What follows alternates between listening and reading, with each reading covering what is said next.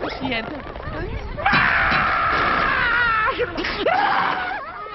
Oye, viejo, si llego a ver al tipo que molestó a Clamú, tendría algunas palabras de dónde elegir para él como tú y eres y un idiota. ¿Estás seguro de que no viste nada sospechoso? Ya te dije que no, Patricio Cielos.